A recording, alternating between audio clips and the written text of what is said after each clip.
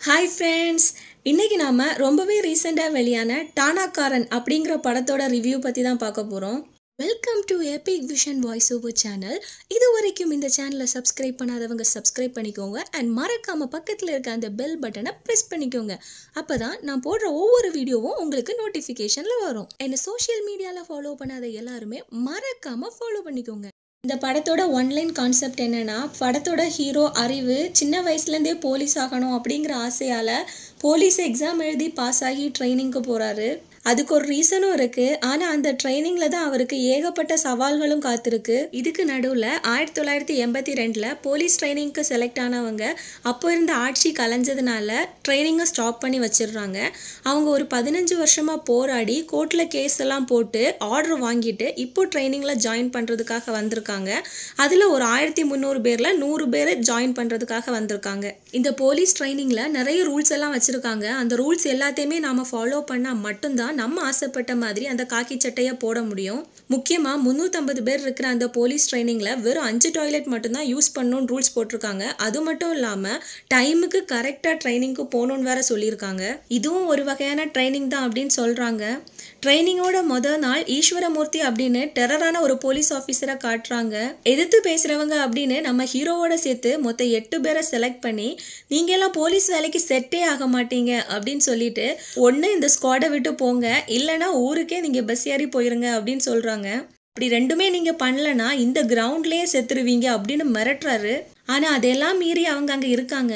அந்த ட்ரைனிங்கில் அவங்களுக்கு நிறைய பிரச்சனைகள் வருது. ஆனால் இந்த கொடுமைகள் எல்லாமே தாங்க முடியாமல் ஒருத்தர் சூசைட் பண்ணி செத்துடுறாரு. அடுத்து காம்ப்ளிமெண்ட் அப்படிங்கிற பேரில் இவங்க கிட்ட லஞ்சம் வாங்குறத அங்கே லா கிளாஸ் எடுக்க வந்த ஒரு நேர்மையான போலீஸ் ஆஃபீஸர் பார்த்துடுறாரு அந்த போலீஸ்காரர் அவங்க கிட்ட லஞ்சம் வாங்குறது ஒரு நோய் மாதிரி. அதுக்கு நீங்கள் துணை போகக்கூடாது நடக்கிற தப்ப ஒரு வாட்டி நாம கண்டுக்காம விட்டுட்டோம்னா அது நமக்கு பழக்கமாக போயிடும் அப்படி பழகி பழகி நம்மளால எதுவுமே செய்ய முடியாது அப்படின்னு ஒதுங்கி போன போலீஸ்காரங்க தான் இங்கே தொண்ணூறு சதவீதம் பேர் இருக்காங்க. அந்த வரிசையில் நீங்களும் வந்து நின்றாதீங்க அப்படின்னு சொல்றாரு.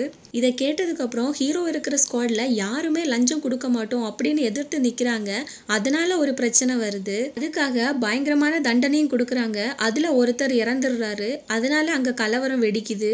அந்த பிரச்சனை நம்ம ஹீரோ மூலமாக ஒரு ஹையர் ஆஃபீஸர் கிட்ட போகுது. எதுக்காக இப்படி லஞ்சம் வாங்குறீங்க அப்படின்னு அந்த போலீஸ் போலீஸ்காரங்களை எல்லாம் திட்டிட்டு அவர் போறாரு. அதுக்கு அங்க இருக்கிற ஒரு இன்ஸ்பெக்டர் நான் என்னோட காக்கி சட்டையை கழட்டினாலும் பரவாயில்ல. ஆனா அந்த அறிவு அதாவது நம்மளோட ஹீரோ அவன் காக்கி சட்டையை போட்டுட்டு இங்கிருந்து போகக்கூடாது அப்படின்னு டிசைட் பண்றாரு. இப்படி முடிவெடுத்ததுக்கு அப்புறம் நம்ம ஹீரோ போலீஸ் ஆனாரா இல்லையா? அதுக்கு என்னென்ன பிரச்சனைகள் வந்துச்சு? அது எல்லாத்தையும் எப்படி சமாளிச்சாரு? அப்படிங்கிறத கொஞ்சம் எமோஷன் கொஞ்சம் த்ரில்லர் கொஞ்சம் உண்மை சம்பவங்கள் அப்படின்ட்டு சூப்பரா சொன்ன படம் தான் இந்த படம். இந்த படத்துல நடிச்சிருந்த எல்லாருமே ரொம்பவே சூப்பரா நடிச்சிருந்தாங்க படத்தோட லென்த் ரொம்ப அதிகமாக இருந்த மாதிரி தோணுச்சு. இன்னும் கொஞ்சம் கம்மியாக இருந்திருந்தா கொஞ்சம் கூட நல்லா இருந்திருக்கும். இந்த படம் ஹாட் ஸ்டாரில் ரிலீஸ் ஆயிருக்கு. எல்லாரும் அங்கே போய் பாருங்கள் மற்றபடி படத்தை பார்த்தவங்க படம் எப்படி இருக்குது அப்படின்னு கமெண்ட் பண்ணுங்கள் தேங்க்யூ என்னோட சேனலை இன்னும் சப்ஸ்கிரைப் பண்ணாதவங்க மறக்காமல் சப்ஸ்கிரைப் பண்ணிக்கோங்க. பக்கத்தில் இருக்க அந்த பெல் பட்டனையும் ப்ரெஸ் பண்ணிக்கோங்க. அப்போ தான் நான் போடுற எல்லா வீடியோஸும் உங்களுக்கு நோட்டிஃபிகேஷனில் வரும். தேங்க்யூ